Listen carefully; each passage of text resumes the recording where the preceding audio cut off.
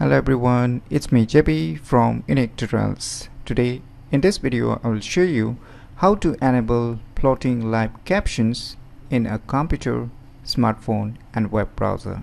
So without for more delay, let's begin. So right now I'm using a Windows operating system on my Raspberry computer. So if you're using a Mac computer or Linux computer, still you can try these tricks. So firstly, let me show you how you can enable in the web browser. Say here I will show you in the Chrome web browser firstly then later I will show you in the computer as well as in the smartphone. So here I'm gonna use a Chrome web browser.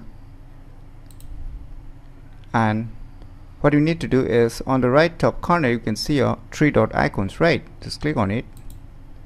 And now you will see here a option written settings. Just click on it. Now on the left side you will see one option here written as accessibility. Just click on it.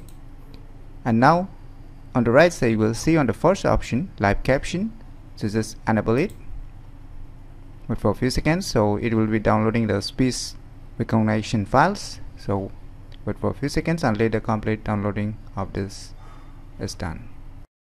So the download has been completed. Now let us check if this option really works or not. So let me open the YouTube. So here let me try to play my own one of the video. So let me try to play one video here.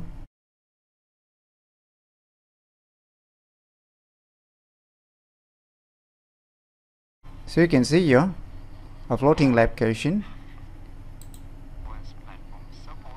so you can see here. So if you minimize this web browser also still this floating type caption will work for you. So right now it mainly detects the English language accurately but if you try to use it in the your mother tongue language or any other language other than English then it might not work properly but still you will get this kind of options. And it will show you in your respective computer so it's perfectly working while you are using a Chrome web browser.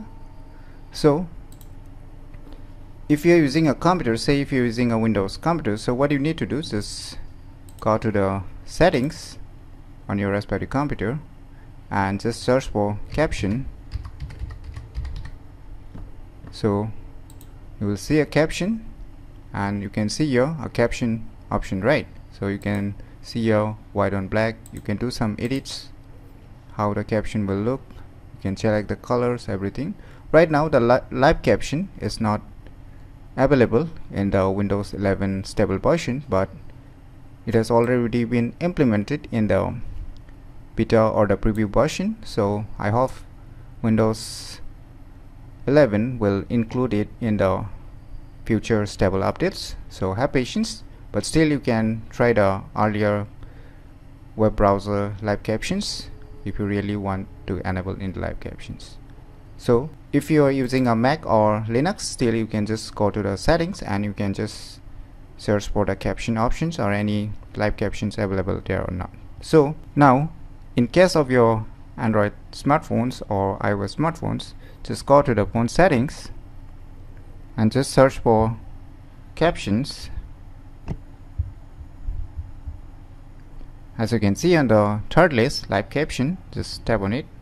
So in the Samsung smartphones they have implemented this live caption option. So just tap on this. And now you can see here use live caption. You can just enable it. Now whenever you try to play any video it will try to detect the languages. Right now you can see below it supports only the English language. So these are the ways how to enable floating live captions in a computer, smartphone and web browser. So if you find this video tutorial useful, please click on the thumbs like button and if you're new to our channel, click on the subscribe button and lastly, thanks for watching.